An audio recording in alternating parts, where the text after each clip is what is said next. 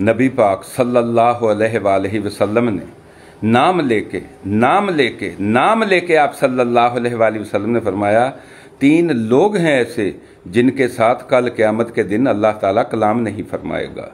अल्लाह अकबर। सहबा फरमाते, हम तो इतना सुनकर काँप उठे थे, लेकिन आप सल्लल्लाहु अलैहि वसल्लम ने दो बातें और इरशाद फरमाई। आप सल्लल्लाहु अलैहि वसल्लम ने फरमाया, अल्लाह ताला उनकी तरफ़ अपनी रहमत की नज़र भी नहीं करेगा। फिर फरमाया, अल्लाह ताला उनको पाक भी नहीं करेगा।